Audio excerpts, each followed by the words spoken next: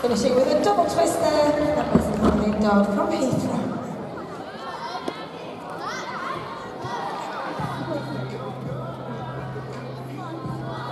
Scores in there for Jake Palmer, 11.066. And now onto the floor, representing Manchester, Finley Hazelton.